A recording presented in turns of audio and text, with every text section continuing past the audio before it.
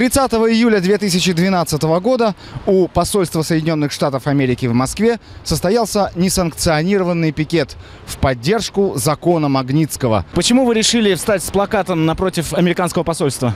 Э, Я собираюсь выдержать, э, высказать поддержку э, за- закону Магнитского.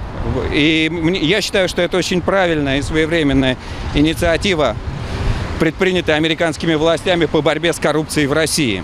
Пикетирующие готовились по самому высокому конспиративному разряду. И поэтому, не сказав ни слова в Фейсбуке, их даже никто не вычислил. Как же так? Можно ваши документы? А почему у вас не должен? У всех было приказом министра внутренних дел, что должны носить нагрудные жетоны. То есть у вас тоже он должен быть, правильно? Нет, у нас нет жетона. Держите. сожалению. Полицейские смущены. Они не были в курсе готовящейся акции и не получили упреждающих приказов от начальства. Хватательный рефлекс А так и подмывает цапать пикетчика, но даже автозака рядом нет. К тому же нельзя, рядом Америка. И Мурло Держиморды уже готова уступить глубоко скрытой природе человеческой демократии. Пожалуйста, своим коллегам, чтобы они находились где-то на отдалении от вас, потому что вы сами прекрасно понимаете, одиночное пикетирование, вы Да, должны я- находиться один, вот естественно. техзакон у меня да, вот естественно, руках, да. с вами никто не должен находиться рядом, иначе получается несанкционированное мероприятие. Совершенно верно, я с вами абсолютно Всё, согласен. хорошо, но пожалуйста. пресса, по-моему, имеет право брать у меня интервью, да? То есть я могу здесь остаться, да? Спасибо.